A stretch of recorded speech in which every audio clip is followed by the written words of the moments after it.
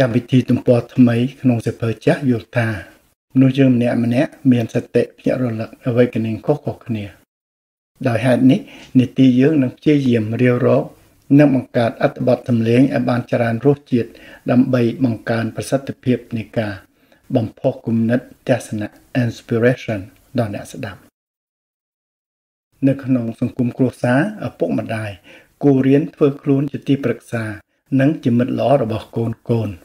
ដោយបើកចំហចិត្តជានិច្ចក្នុងការប្រស្រ័យស្និទ្ធស្នាលនិងជួយដោះស្រាយណែនាំកូនចៅ ពេលពួកគេជួបប្រទះបញ្ហាតូចធំ នៅក្នុងដំណើរជីវិតដ៏វ័យក្មេងរបស់គេ ជាជាងចាំតែស្ដីបន្ទោសប្រអំណាចជាឪពុកម្ដាយបាទនៅក្នុងពេលជាមួយគ្នានេះដែរមួយដំណក់ម្ដងមួយដំណក់ម្ដងខ្មែរយើងក៏គួរចាប់ផ្ដើមរៀន ធ្វើឲ្យមានទម្លាប់ខំធ្វើខំដោះស្រាយបញ្ហាខ្លួនដែលខ្លួនឯងមុននឹងពឹងរកអ្នកដទៃឲ្យជួយ ព្រោះនេះជារឿងយើងបាទថ្ងៃនេះនីតិយើងមានកិត្តិយសដោយបានលើកយកកម្រងសុភាសិតមួយមកអានជូនស្ដាប់សុភាសិតទាំងនេះបានដកស្រង់ចេញពីប្រព័ន្ធ website និងប្រែជាភាសាខ្មែរដោយខ្ញុំបាទបាទសុភាសិតជាពាក្យទំនឹមទំនៀមឬពាក្យចាស់បុរាណ ដែលលោកបានចងក្រងទុកជាបណ្ដាំសម្រាប់ណែនាំប្រដៅកូនចៅឬមនុស្សម្នាចំនួនក្រោយសុភាសិតជាទូទៅ មានន័យប្រៀបធៀបធ្វើឲ្យមនុស្សគិតនិងពិចារណា រកអត្ថន័យពិត ដើម្បីយកមកអនុវត្តសម្រាប់ការរស់នៅសុភាសិតតែងឡើងតាមបទពិសោធន៍ជាក់ស្ដែង ពីជីវភាពរស់នៅ និងតាមទំនៀមទម្លាប់របស់សង្គមនីមួយៗ សុភាសិតខ្មែរយើងភាគច្រើន ជាកំណាព្យកាបឃ្លោងបាទដូច្នេះសូមអញ្ជើញលោកអ្នកនាងទំរេតកាយបង្ហើអារម្មណ៍ក្រេបអត្តន័យនិងអត្តរសនៃសុភាសិតរបស់ចិត្តសាស្ត្រផ្សេងផ្សេងជាមួយនីតិយើង ដោយមេត្រីភាព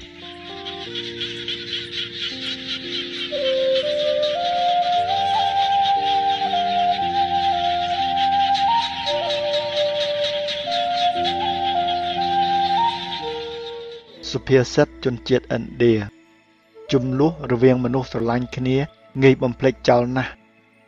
ការខំសិក្សាពីក្មេងគឺជាអក្សរចម្លាក់មួយ សុភាសិតជនជាតិអារ៉ាប់អ្នកមានសុខភាពមានសង្ឃឹមអ្នកមានសង្ឃឹមមានអវ័យអវ័យទាំងអស់សុភាសិតជនជាតិហេទី មេស្វាមិនដែលគិតថាកូនស្វាអាក្រក់ទេ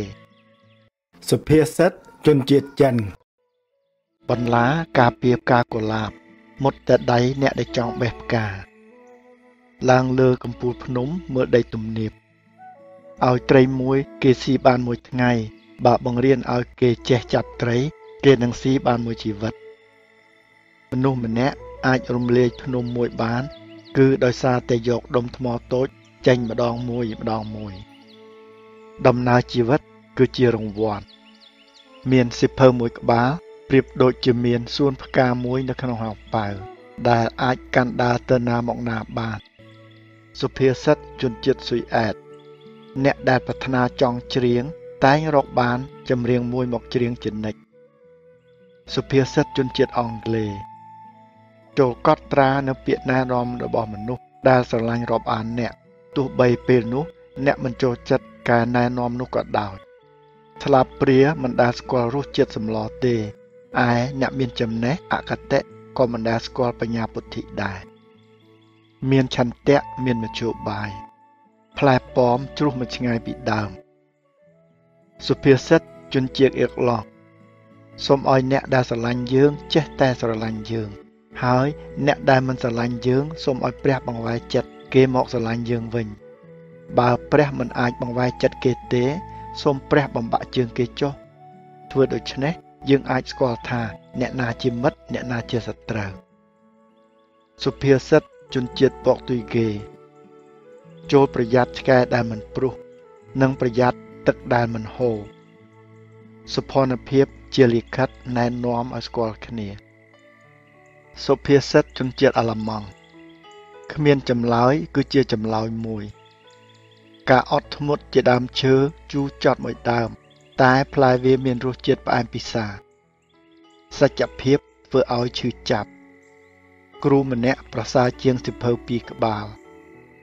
សមត្ថភាពអាចធ្វើឲ្យអ្នកទៅដល់តំណែងខ្ពស់តែបុគ្គលិកលក្ខណៈទេដែលធ្វើឲ្យអ្នកកាន់តំណែងនោះបានអ្នកដែលជីករណ្ដៅសម្រាប់អ្នកដទៃនឹងធ្លាក់ចូលទៅក្នុងរណ្ដៅនោះដោយខ្លួនឯង ដំបូលមានល្អច្រើនរំខានឯដំបូលមានអាក្រក់ច្រើនតែពីរោះសុភាសិតជនជាតិអេស្ប៉ាញ៉ុល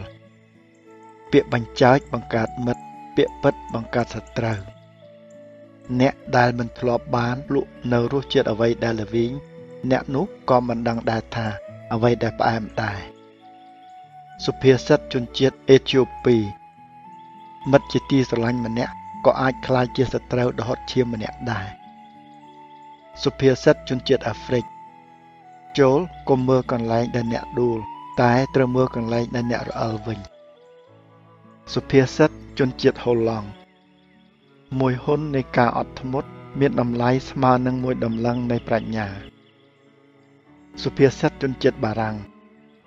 ល្អណាស់ដែលអ្នកមានប្រាជ្ញា តែកុំបង្ហាញឲ្យគេឃើញតលតែបានពាក់កណ្ដាលអាយុ ទើបមនុស្សម្នាក់ម្នាក់ដឹងថាជីវិតជាអ្វីក្នុងរឿងស្នេហា តែងមានម្នាក់ជាអ្នកហុចថ្ពាល់ហើយម្នាក់ទៀតជាអ្នកថើប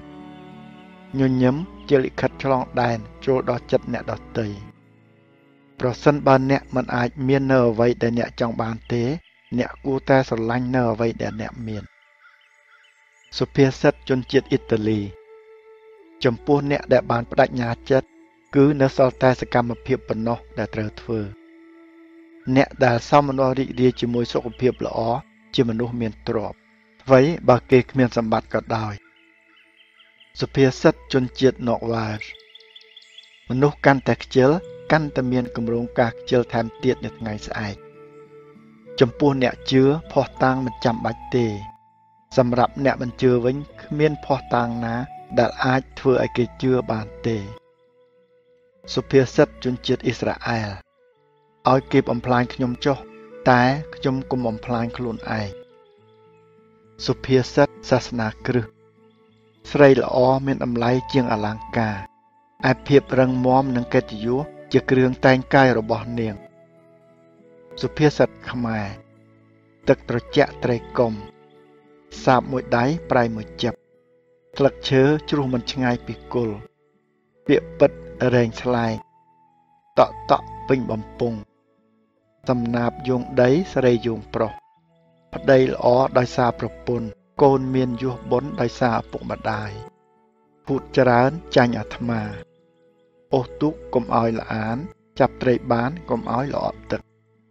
ការឆ្លោះគ្នាក្នុងសង្គមគ្រួសារដូចហែកកាយាបង្ហាញញាត ការឆ្លោះគ្នាក្នុងសង្គមជាតិដូចលាកំណប់បង្ហាញសត្រូវ ទំពាំងថ្នងឫស្សីកុំទុកចិត្តបរទេសកុំទុកចិត្តអភិនេស្កុំទុកចិត្តអភិប្រាយលោកធាតុមួយព្រះអាទិត្យ3សុភាសិតព្រះពុទ្ធសាសនា ប្រយ័ត្នចំពោះការរិះគិតរបស់អ្នកគំនិតទាំងនោះនឹងคล้ายទៅជាពាក្យសម្ដី ប្រយ័ត្នចំពោះពាក្យសម្ដីរបស់អ្នកពាក្យសម្ដីទាំងនោះនឹងคล้ายទៅជាអំពើប្រយ័ត្នចំពោះអំពើរបស់អ្នក អំពើទាំងនោះនឹងคล้ายទៅជាទម្លាប់ប្រយ័ត្នចំពោះទម្លាប់របស់អ្នកទម្លាប់ទាំងនោះនឹងคล้ายទៅជាអត្តចរិតប្រយ័ត្នចំពោះអត្តចរិតរបស់អ្នកអត្តចរិតនោះនឹងคล้ายទៅជាព្រេងវាសនារបស់អ្នកគ្មានអ្វីគួរឲ្យភ័យខ្លាចជាងទម្លាប់នៃការសង្ស័យទេ ការសង្ស័យធ្វើឲ្យមនុស្សប្រេះឆារវាងគ្នានឹងគ្នា ការសង្ស័យជាពុះពុលដែលបំបត្តិមិត្តភាព និងបំបែកចំណងមេត្រីភាពផងទាំងពួង ការសង្ស័យជាបន្លាធ្វើឲ្យក្រហល់ក្រហាយនិងធ្វើឲ្យឈឺចាប់ ការសង្ស័យជាដើមមួយសម្រាប់ជីវិត សុភមង្គលមិនដែលអន់ថយដោយសារតែបានចែកអមលែកដល់អ្នកដទៃទេស្គាល់ខ្លួនឯងគឺជាកតបណ្ឌិតពិតស្គាល់អ្នកដទៃជាបញ្ញា គ្រប់គ្រងខ្លួនឯងបានជាកម្លាំងពិត គ្រប់គ្រងអ្នកដទៃបាន គឺជាអនុភាព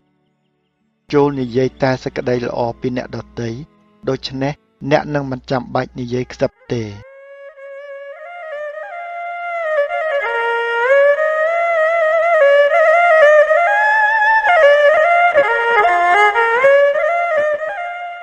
បាទក្នុងនាមជាពលរដ្ឋនៃប្រទេសមួយ កម្មវិធីទំព័រថ្មីក្នុងសិភៅចាស់គឺជាការខិតខំប្រឹងប្រែង សាក់លបងបញ្ចេញគំនិតយោបល់ក្នុងគោលបំណងមួយ ហើយតែមួយគត់គឺចូលរួមធ្វើវិភាគទានជាវិជ្ជមាន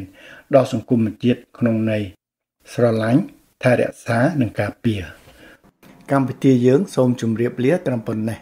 សូមអរគុណបងប្អូនដែលចាប់អារម្មណ៍ស្ដាប់ សូមបងប្អូននិងមនុស្សជាទីស្រឡាញ់បានប្រកបតែសុខភាពល្អសុភមង្គលសម្បូរដោយសំណោចក្អាកក្អាយនិងសេចក្តីស្រឡាញ់នៅក្នុងជាតិនេះនឹងជួបគ្នានៅឱកាសក្រោយៗទៀត